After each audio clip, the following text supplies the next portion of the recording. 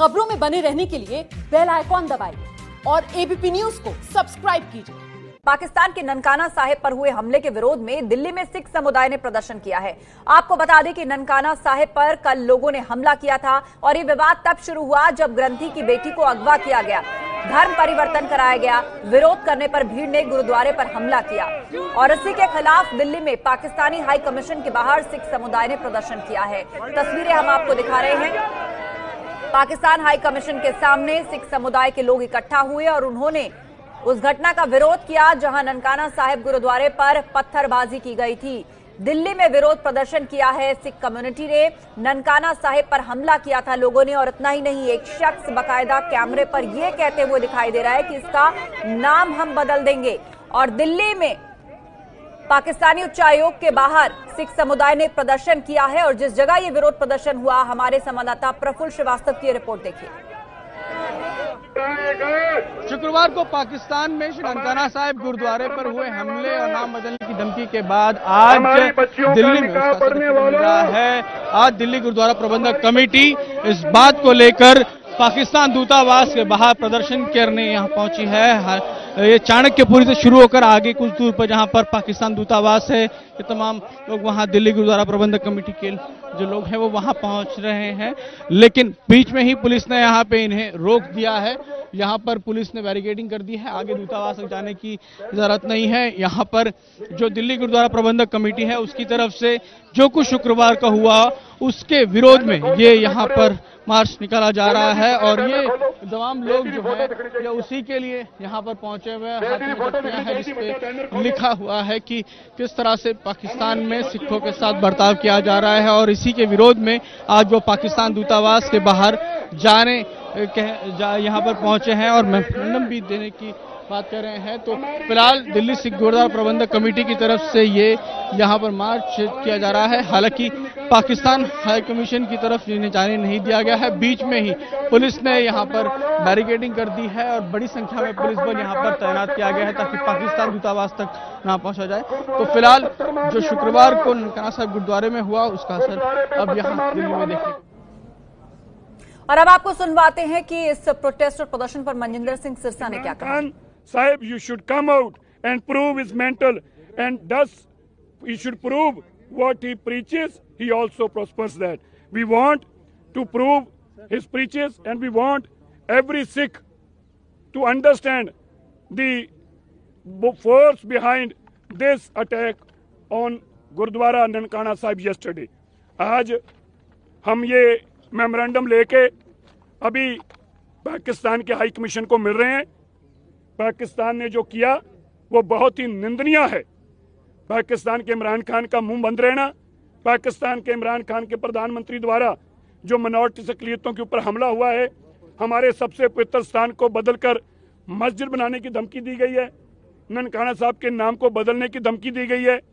और यहाँ तक पाकिस्तान से सिखों को बाहर निकालने की जो धमकी दी गई है, उसको हम जहाँ कड़े शब्दों में निंदा करते हैं, वहीं हम स्ट्रांगली उसको ऑब्जेक्ट करते हैं। और आज हम यहाँ बताने के लिए पहुँचे हैं, सिख एक बहादुर कौम है।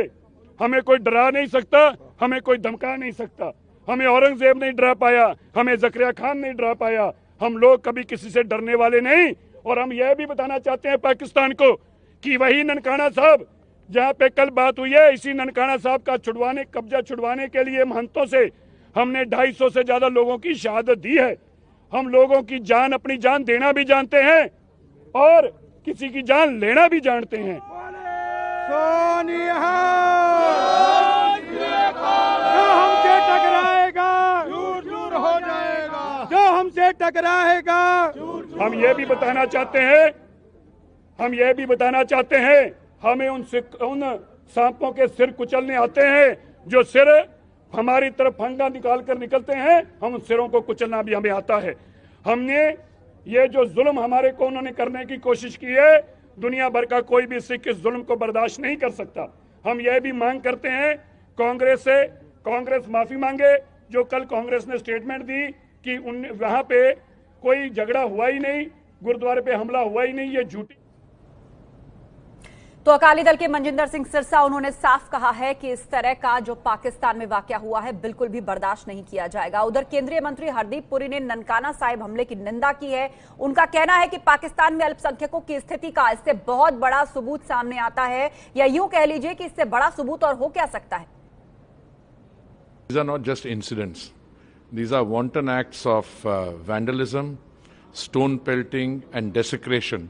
Uh, against the holiest of the holy Sikh shrines, Gurdwara Nankana Sahib Ji. Any proof were needed about the state of the minorities in Pakistan. This incident after the Friday prayers yesterday provides that proof. उधर ननकाना साहिब को लेकर राहुल गांधी ने भी tweet किया है राहुल गांधी ने इसकी निंदा की है और कहा है कि ऐसा करना ठीक नहीं क्या ट्वीट किया राहुल ने आपको दिखा रहे हैं ननकाना साहिब पर हुआ हमला निंदनीय है हर तरफ़ इसकी निंदा की जानी चाहिए कट्टरता एक खतरनाक और पुराना जहर है राहुल गांधी लिखते हैं, जिसकी कोई सीमा नहीं जानता, प्यार, पारस्परिक सम्मान, समझना, इसका इकलौता ज्ञात उपाय है।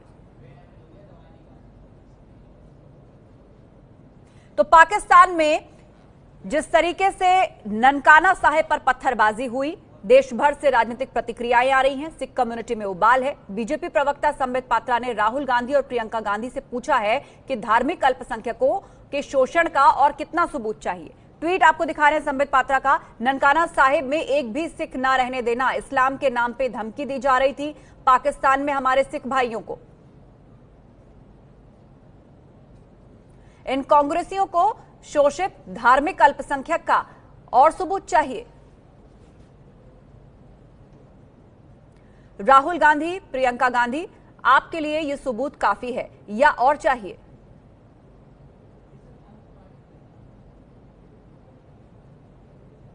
दिल्ली के मुख्यमंत्री अरविंद केजरीवाल ने भी ट्वीट किया है। केजरीवाल ने क्या आपने ट्वीट में लिखा है, वो भी आपको दिखाते हैं।